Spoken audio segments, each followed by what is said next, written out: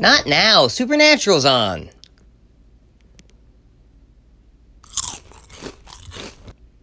You know, I really like that Lady in White episode. Prancel? Ugh, ugh, salt.